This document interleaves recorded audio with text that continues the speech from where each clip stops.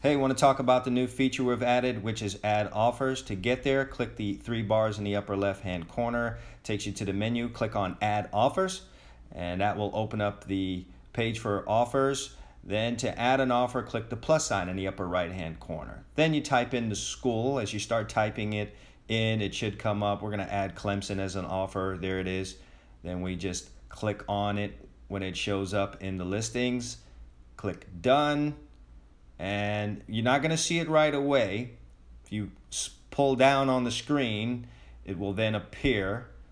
But in this particular case, let's just go see if it was added to our profile. So we head back out to the main listings. Or you know what? Let's just go in and then come back out, pull down, and there you see Clemson at the bottom. All right? And you can delete it if you want to by sliding to the left. But let's go see if it's listed.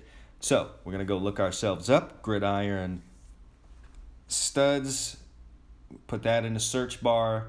There we are. Click view profile, scroll down to our offers. It only shows the first five. When you click on more, there it is, Clemson down there at the bottom, number 12.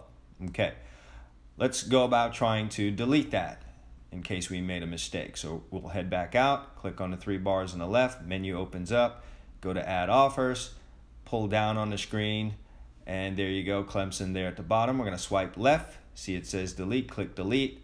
It's out of there. Let's go back, see if it's gone on our profile. Click the three bars on the left. Click on home. We still have gridiron studs in the search bar. Scroll down to offers. Click more. As you can see, Clemson is gone. And that's how you both add and delete offers in case you made a mistake on a gridiron